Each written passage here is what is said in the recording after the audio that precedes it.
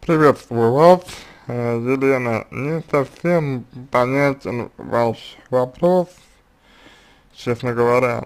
То есть не совсем понятно, что именно вы хотите спросить у психологов.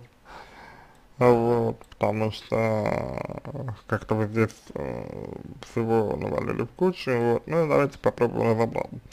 Итак, мне 28 лет, пишите вы, у меня не, уже нет такого желания познавать мир, быть современной, пробовать что-то, как это было 26.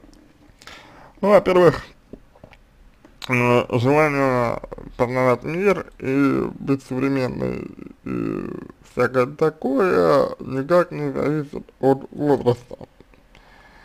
Если вы не знали, возраст здесь, вообще-то говоря, совершенно ни при чем. Зато э, куда, куда более важно то, как вы воспринимаете себя и окружающий мир. Насколько вам интересно, э, к примеру, э, насколько вам интересно, к примеру, вы сами. То, что вы делаете, и насколько прописано, на, на, насколько четко прописано у вас э, система ваших ценностей. Вот что вызывает у меня лично большие сомнения, так это ваши ценности, ваша система ценностей и ориентиров в жизни, которых вы э, придерживаетесь, и которые э, позволяют вам двигаться ну, в определенном, скажем так, ключе по жизни. И здесь я склонен думать, что вы а, к сожалению, скорее подавляете свои чувства и желания, нежели чем позволяете им быть такими, какие они есть. Если это действительно так, то есть если я прав, если я прав, то вам в первую очередь нужно думать именно об этом, о том, что вы выбираете мужчину старше себя совершенно не просто так, а потому, потому что, а, потому что действительно чувствуете себя как бы старше своих лет. Человек, который стал, чувствует себя старше своих лет, как бы, как правило, занимается исключительно тем, что подавляет свои собственные чувства и эмоции, из-за чего а, и возникает а, то самое ощущение, что ничего уже не хочется, а, как бы жизнь прошла и все такое. Поэтому здесь в первую очередь нужно смотреть на то, как вы относитесь к своим чувствам, насколько вы к ним прислушиваетесь, насколько вы их э, цените, потому что, на мой взгляд, то, что вы делаете, вы обесцениваете как свои собственные переживания, свои собственные эмоции, свои собственные чувства вы обесцениваете. Вот. Ну, я уверен, что вам частенько бывает скучно. Вот, я уверен, что э, частенько вы не знаете, чем себя занять. Вот, то это вот как раз таки обесценивание своих собственных эмоций, своих собственных переживаний, своих собственных импульсов. Э, на языке транзактной анализа это значит, что вы подавляете своего внутреннего ребенка. И, как вы, наверное, понимаете, хорошего в этом абсолютно нет ничего. Ничего нет хорошего, и ничего не может быть из этого хорошего, хорошего в принципе. Но этим, как я, э, как я сказал, этим нужно заниматься. То есть необходимо заниматься своим состоянием. Вот. Дальше. А вы склонны сравнивать себя другими людьми, другими девушками. Вот. И э, не совсем понятно, как вы выстраиваете отношения со своими мужчинами. То есть, почему вы, например, тяготеете к мужчинам постарше. Опять же, связано с тем, что с ними вы можете быть в большей степени ребенком, чем э, с мужчинами, которые ваши ровесники. Но проблема заключается в том, что обесценивание вашего внутреннего ребенка продолжается и в, отнош... и в отношениях тоже. Именно поэтому мужчины, которые а, в начале отношений был как бы догоняющим, сейчас вас опередил, а вы уже в свою очередь а, стали напротив а, той, кто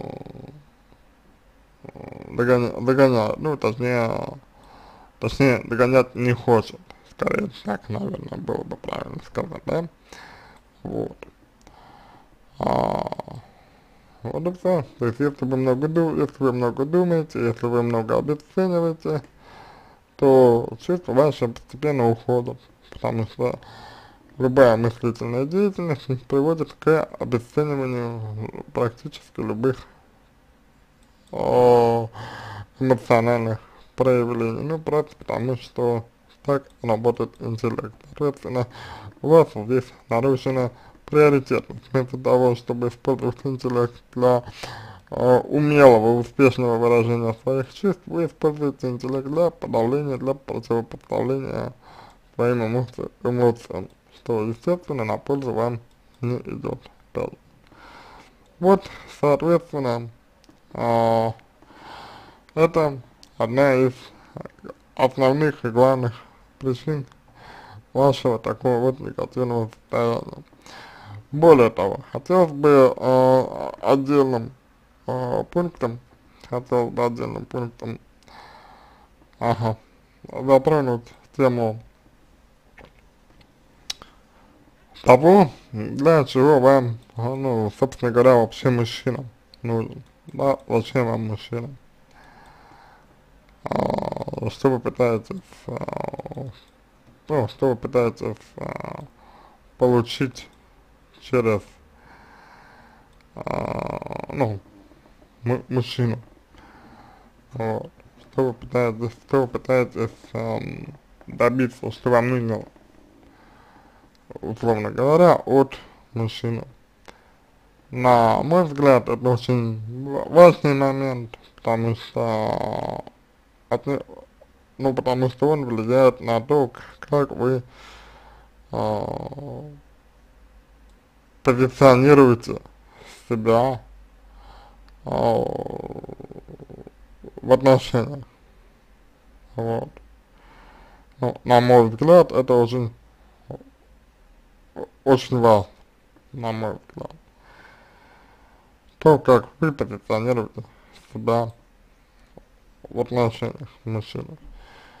Вот. На мой взгляд, здесь вы нацелены больше на то, чтобы брать у мужчины, а не отдавать.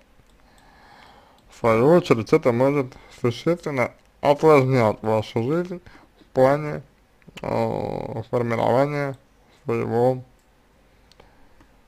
э, поведения, в плане формирования своих э, элементов образа по отношению мужчина, то есть гендерный, гендерный образ, гендерная модель поведения.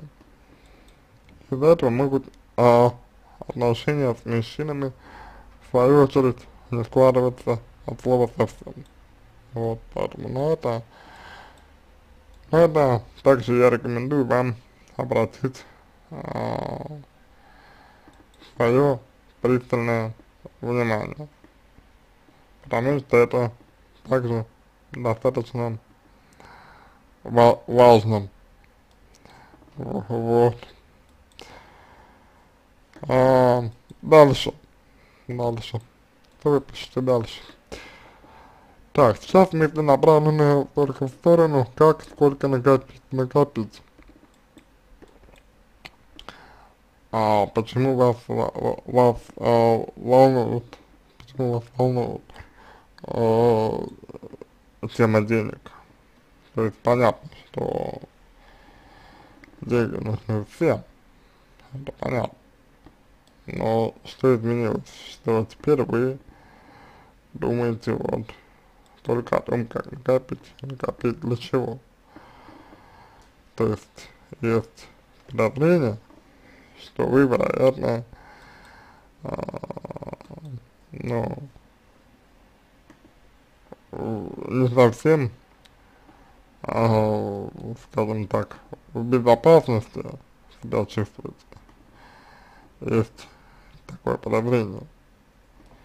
То есть деньгами, деньгами вы пытаетесь э, защититься.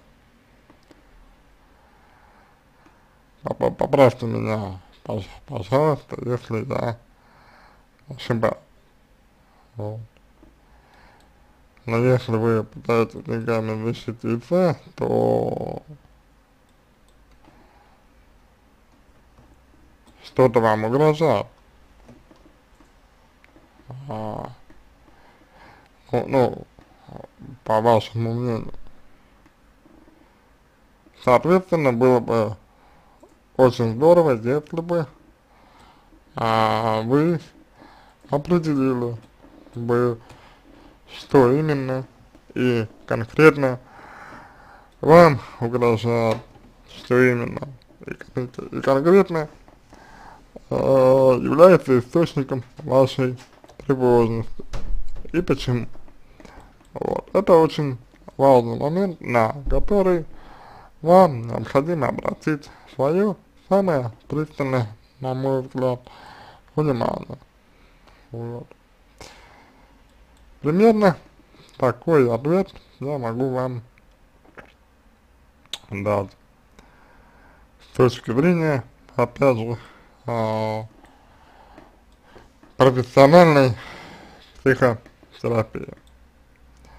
С точки зрения психологии. На этом все. Я надеюсь, что помог вам. Если понравился мой ответ, буду благодарен за его оценку в качестве лучшего. Я желаю вам всего самого доброго и удачи.